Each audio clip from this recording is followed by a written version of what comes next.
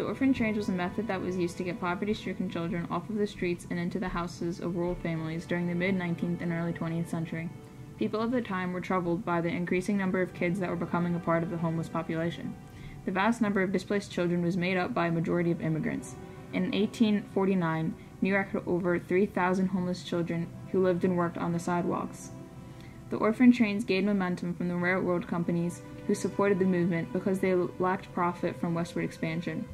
Reformers worked to respond to the needs of the impoverished children. Charles Brace was one of the most well known reformers of this time. He established a Protestant child welfare organization, the Children's Aid Society of New York, which provided an alternative to orphanages. CAS initially became a shelter for urban youth with religious values while searching for families in the city to take in the children. These solutions were not efficient alone, so CAS started an emigration plan, which later was called the Orphan Trains. This plan changed the idea of institutionalized settings for children to increase the amount of children living with a family. Today, this is seen as the foundation for foster care.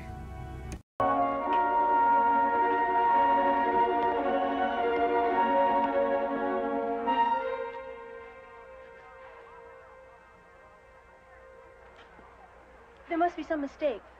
That's where I was told to put you. But this isn't fit for cattle. Why, you're going to have to get on, ma'am. This train is leaving. Board! All aboard! Train number seven, westbound. Board! Are we going or not? Gonna leave. All right. There were two ways in which people got children from the orphan trains. Foundling Hospital put notices in newspapers around the Midwest, and people would write a description of the child they wanted. The CAS had the children line up by height order on a train platform or city hall, then farmers, or whoever came, would often check the children with similar tests to slave auctions, because they wanted strong children for labor. The term orphan train is actually misleading due to the fact that less than half of the children who rode the trains were orphans. About 25% had two living parents. The children with parents were sent to the trains because country living and training was believed to prevent development of bad habits and kept them away from the evil city. Agencies such as the Children's Mission actually developed a placing out system before the CAS did, and many other groups followed in Brace's footsteps, some even as far away as Western Europe. The New York Foundling Hospital, a Catholic organization, was one of the largest American agencies to employ a like system. Catholic agencies were highly critical of the CAS and accused the agency of placing Catholic children in Protestant homes in an effort at conversion.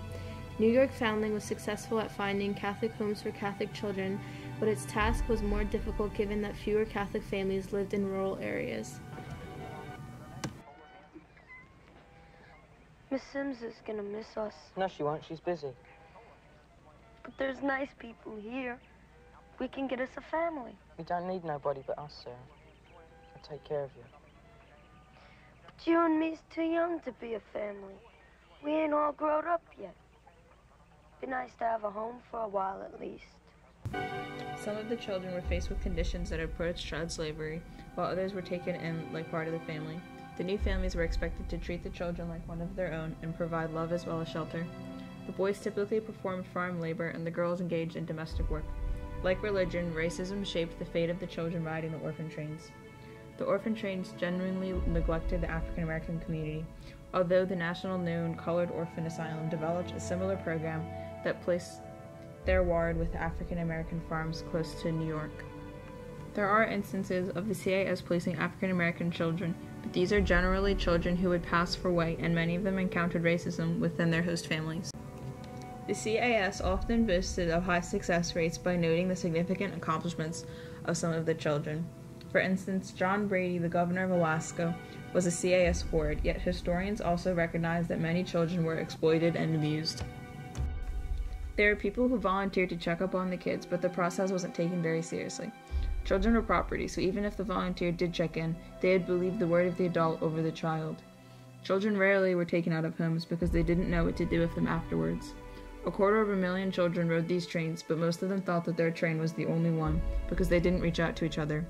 Although agencies claimed to maintain communication through writing, it was not uncommon for agencies to lose all communication after initial placement. Contracts were signed between the organization and the people who took in the children until the age of 21. They were required to feed, clothe, and send them to school for four months in a year. Critics argued that the foster families were barely well screened and were briefly interviewed, if at all, collecting only the most superficial information about them. Agencies became more careful about family screening, but by 1900, several Midwestern states adopted legislation limiting the placement of children. In the progressive era, a new generation of children's advocates suggested that dependent children should remain with their families of origin whenever possible, which struck a deep blow to the placing out philosophy.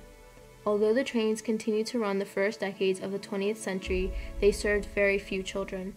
The last orphan train ran its route in 1929. By then, the orphan trains had served more than 200,000 children. The orphan trains left a mixed legacy and helped children in need.